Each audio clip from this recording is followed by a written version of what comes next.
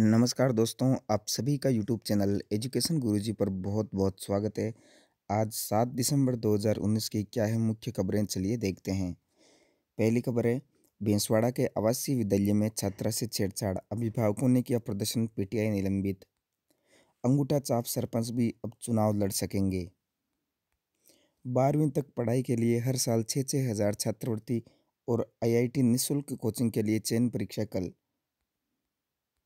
Ballot paper से होंगे सरपंच चुनाव, पचास हज़ार रुपये खर्च कर सकेंगे।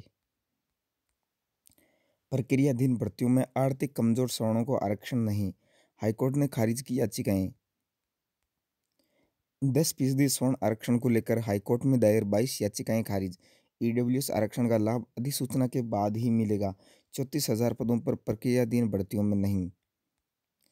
उच्च शिक्षा व आधुनिक तकनीक, शिक्षा से ही चहुमुखी विकास, चौधरी पीटीआई भर्ती के चयनितों की पोस्टिंग के लिए सात को होगी काउंसलिंग। वेबसाइट में तकनीकी खराबी के कारण नहीं भरे गए परीक्षा फॉर्म, विश्वविद्यालय ने संशोधित कार्यक्रम जारी किया। जेईई मेन के एडमिट कार्ड जारी। एईएन मुख्य परीक्षा के प्रश्न पत्र अपलोड। चार सौ सत्तर पटवारी और दो सौ पच्चीस राजस्व लेखाकार नायब तहसीलदार के पदों पर होगी भर्ती।